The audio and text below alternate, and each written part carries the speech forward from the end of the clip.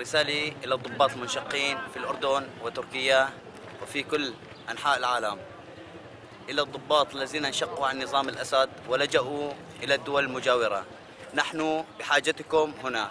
فقد جهزنا لكم الآليات من نظام الأسد ولكن ننتظر عودتكم إلى تراب الوطن لأن الوطن بحاجة إلى لكم بشكل فوري.